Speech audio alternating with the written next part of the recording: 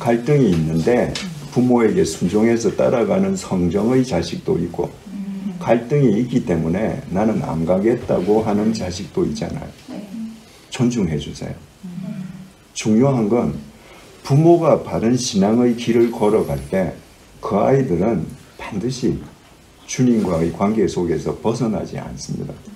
예, 믿어주세요. 주님 믿기 때문에 내한테 주신 내 자식도 믿어야 됩니다. 예, 감사합니다. 예. 근데 제가 저희 아이가 중2 딸이랑 초등학교 6학년 아들 있거든요. 근데 저 제네바에 작년 이맘때쯤 왔거든요. 그 전에 한국에서 있으면 이제 코로나 지나면서 온라인 예배만 드리면서 조금 아이들도 신앙 생활을 좀 잘 못했던 것 같아요.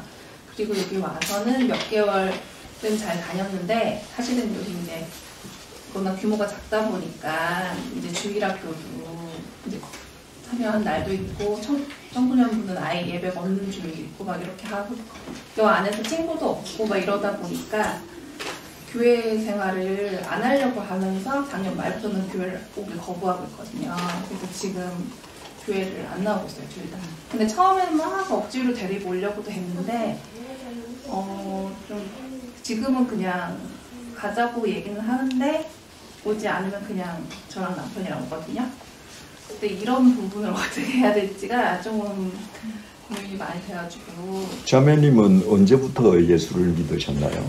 어, 저는 모태신앙이에요. 그러면 모태신앙인으로 어머니 손목에 잡혀서 교회를 다니면서 갈등이 없었습니까? 저는 갈등은 있었지만 애들처럼 명확하게 안 나눈다고. 그러니까 갈등이 있었다는 게 중요하잖아요. 네. 갈등이 있는데 부모에게 순종해서 따라가는 성정의 자식도 있고 갈등이 있기 때문에 나는 안 가겠다고 하는 자식도 있잖아요. 네. 존중해 주세요. 중요한 건 부모가 바른 신앙의 길을 걸어갈 때 그 아이들은 반드시 주님과의 관계 속에서 벗어나지 않습니다. 근데 그거를 그 아이들이 그런 시기를 겪을 때 강압적으로 데리고 옵니다. 영원히 예수하고 등질 겁니다. 예. 그래서 그 아이를 존중해 줄 때 주님께서 작정하신 주님의 카이로스가 올 때 주님께서 그 아이들을 만지시고 세우는 거죠.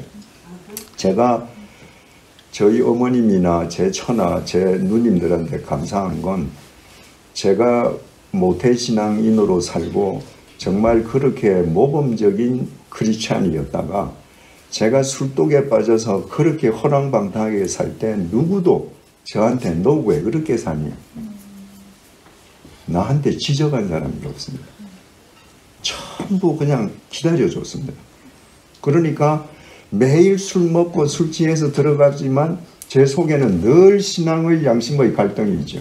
근데 이렇게 살면 안 되는데 우리 아버지도 술 드시다가 하루아침에 끊으시고는 정말 주님 뜻대로 살았는데 근데 왜 이렇게 살지? 그러다가 주님의 때가 됐을 때 주님이 핀셋으로 뽑아내는 거죠. 예, 믿어주세요. 주님 믿기 때문에 내한테 주신 내 자식도 믿어야 돼요.